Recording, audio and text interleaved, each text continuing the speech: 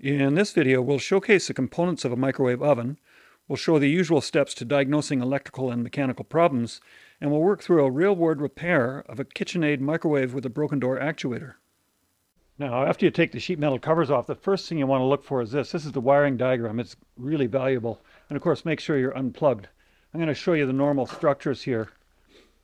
Uh, of course, this is the magnetron. It produces the microwaves. And this is the transformer. The magnetron requires really high voltage, so they step up the voltage for the magnetron with this transformer. It's really heavy.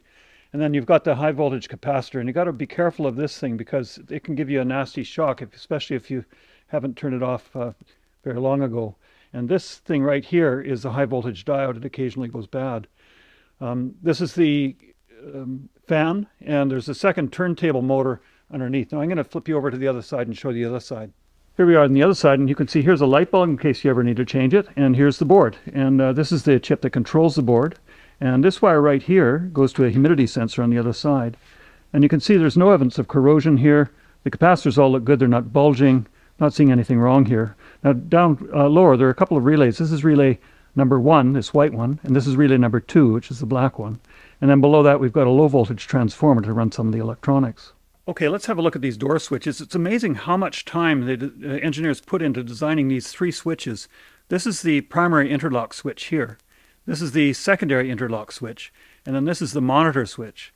And both the primary interlock switches are closed when the door is closed, and the monitor is the reverse. So current flows through the interlock switch when the door is closed. Here's the wiring diagram for this oven. You'll be confused until you understand this is drawn for the situation where the oven door is left open I was a little surprised to not find an accessible high voltage fuse on the secondary side of the transformer.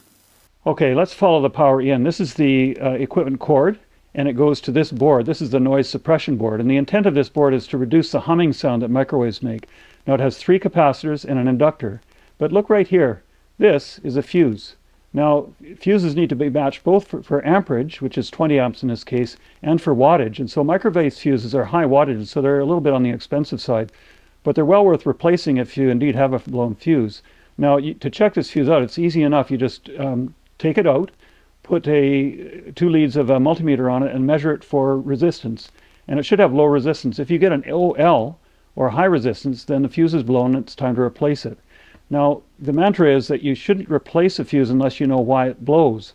And that is good general advice. Have a look around, make sure there's nothing else uh, happening. But in my experience, it's not uncommon for fuse to blow in a microwave for no, apparent reason, so it's sometimes worthwhile just replacing the fuse to see what happens. Now let's trace where power goes. This is a noise suppression unit, and power comes out of the noise suppression unit on this thin black wire. It's surprisingly thin, actually, still 110 volt. And it comes immediately to the oven thermostat. Now this is a resettable thermostat in most microwaves, meaning that when the temperature drops back down, the switch closes and it allows power to resume itself. And so uh, there are some thermostats that are, that once they blow, you have to replace them. Now, if you want to check this thermostat out, all you have to do is take the connectors off and put an ohmmeter on there and see if there's resistance. At room temperature, there should be very little resistance to this device. Now, downstream of this device, you've got two um, wires. One wire, this black wire here, goes to the oven light, and then the second wire goes to the rest of the electronics. And so if the oven light is working but nothing else is working, you know the problem is downstream of here. Okay, I want to emphasize a point here. That danger symbol is no joke. The voltage output from these transformers is somewhere between 1,000 volts and 5,000 volts, and it's certainly high enough that it could overwhelm most multimeters. And so for the most part, you almost never want to test this hot. Uh, fortunately, you can do almost all of the testing you do on a microwave cold with it unplugged. And even with it unplugged, you could get a nasty shock from the uh, capacitor. One thing I'd like to point out about the high voltage circuit is it uses a so-called Villard voltage doubler uh, circuit. Basically, the transformer is in series with this big capacitor, and then you've got this um, short circuit diode which um, neutralizes. And ba basically, what happens is the AC current is switched to a widely varying DC current, and uh, that's what the magnetron uses to generate the signals. Okay, now let's focus on the problem at hand. When I opened this up, I found two plastic pieces. There's this one here, and then this one here. And if you look at it closely, you can see that this seems to mate very nicely on that there. And there's a one that's missing on this side. Now let's look a little closer and see. This, um, when you press the button to open the microwave, you press this here. You see that? And there's a hook there that holds it back and there's no hook there. So there's a couple of plastic pieces that are broken with that. I wonder if I can fix this. Now, um, this dovetails with the primary interlock switch right there.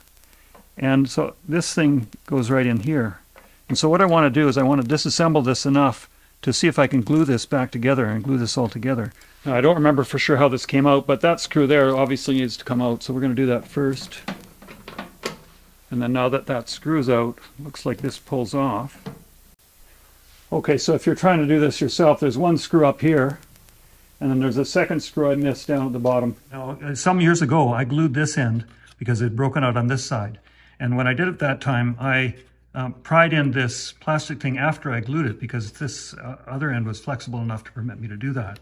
But once I glue it on both sides, I don't think it'll have the flexibility to allow me to do that. So I think I can get the this device into place with the plastic thing glued in place. And so what I'm going to do is I'm going to uh, glue this here first with crazy glue and then JB Weld.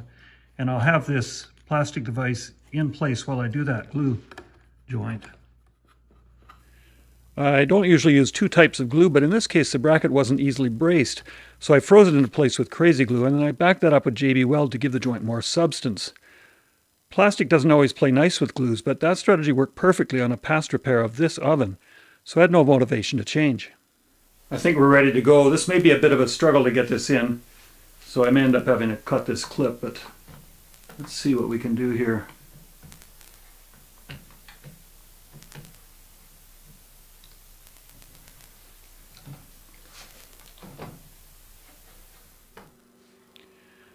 We're back in action. Thanks for watching.